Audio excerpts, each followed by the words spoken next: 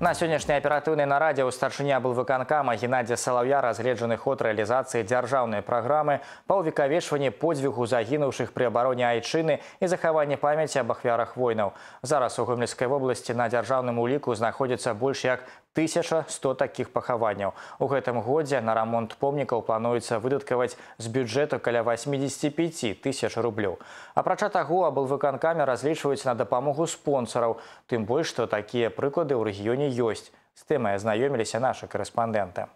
Колькасць вайсковых пахаванняў на гомельшыне пастаянна павялічваецца. За апошнія дзесяцігоддзе плюс 200 помнікаў і мемарыялаў. Іх выяўленне адбываецца ў асноўным дзякуючы неабыякавым людзям, якія інфармуюць мясцовыя органы ўлады аб вядомым ім месцы пахаванняў, што раней не знаходзілася на ўліку. На сённяшняй нарадзе ў старшыні аблвыканкама да тэмы захавання гістарычнай памяці звярнуліся зноў. В основном все памятники в хорошем удовлетворительном состоянии.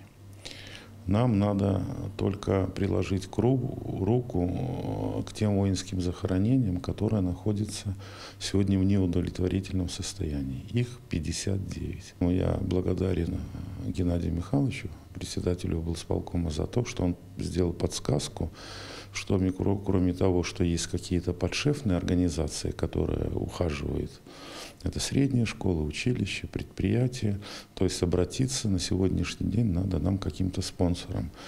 Ну, наверное, в лице тех юридических лиц, которые, как говорится, имеют прибыльное предприятие, которые окажут нам к 75-летию освобождения Беларуси посильную финансовую помощь. Спонсарская дапамога на навядзенне парадку на вайсковых помніках і ў месцах пахаванняў мірных жыхароў на гомельшыне справа пакуль не вельмі распаўсюджаная. Але і выключэннем такія прыклады назваць нельга. У гомельскім управленні магістральнага заправоду акцыянернага таварыства Газпрам Трансгаз Беларусь акцыю Манумент перамогі праводзяць 5 гадоў і сёлета яе абавязкова працягнуць. Начиная с 2015 года, вот уже 5 лет подряд Работниками нашего филиала проводятся мероприятия по благоустройству территорий, мест захоронения воинской и боевой славы. В этом году мы продолжим мероприятия, проводимых в рамках данной акции.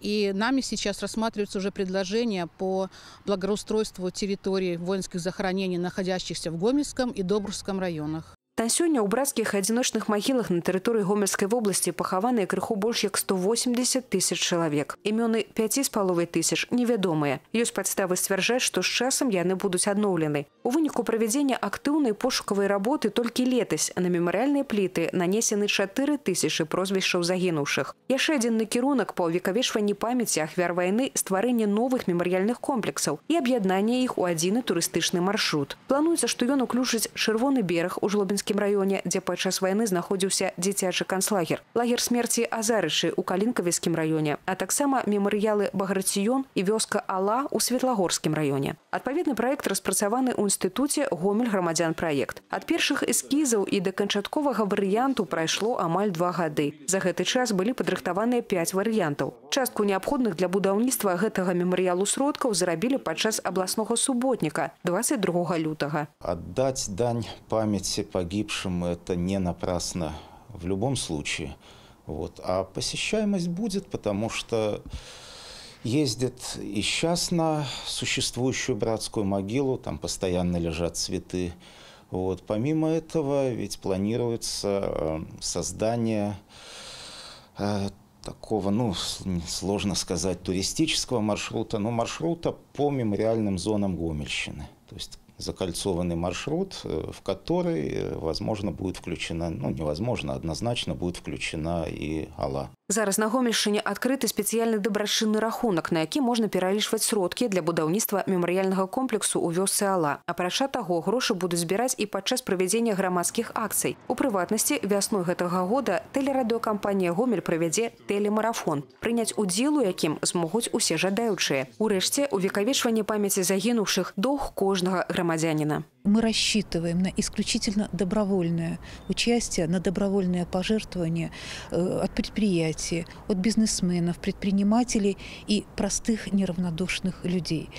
Хотя некоторые интернет-ресурсы и демонстрируют э, отличную точку зрения, но тем не менее я хочу обратиться ко всем коллегам по Перу и призвать их принять участие в этой благотворительной акции.